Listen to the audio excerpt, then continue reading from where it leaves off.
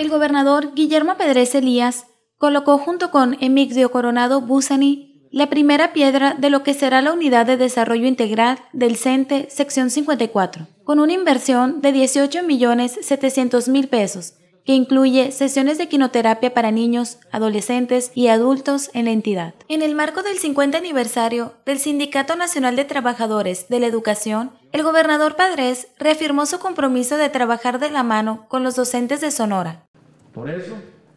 y me alegra mucho constatarlo, hoy nos reunimos para dar inicio a este gran proyecto social con mucha visión, como lo será el Centro de Equinoterapia y Áreas Deportivas. Obras como estas contribuyen, sin duda alguna, a incrementar la calidad de vida de los sonorenses y complementan la labor del magisterio siendo congruentes con esa vocación de servicio y aportación a la comunidad.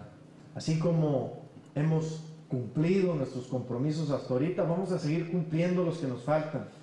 Y uno de los compromisos que yo les aseguro que vamos a cumplir hasta el final es trabajar unidos y de la mano, siempre con el CENTE,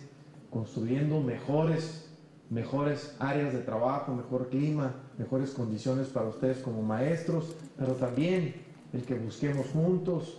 el poder tener mejores instalaciones, mejor tecnología y mejor equipo para poder capacitar a nuestros niños. Con una inversión de 18 millones 700 mil pesos, situado en el ejido Molino de Camú, en una superficie de 20 hectáreas, el Sindicato Nacional de Trabajadores de la Educación, sección 54, construirá la Unidad de Desarrollo Integral. En este espacio se ofrecerán alrededor de 20.000 terapias anuales a niños, adolescentes y adultos con diversos problemas que van desde autismo, parálisis cerebral, cuadriplegia, hasta síndromes de Down, West y Red, entre otros.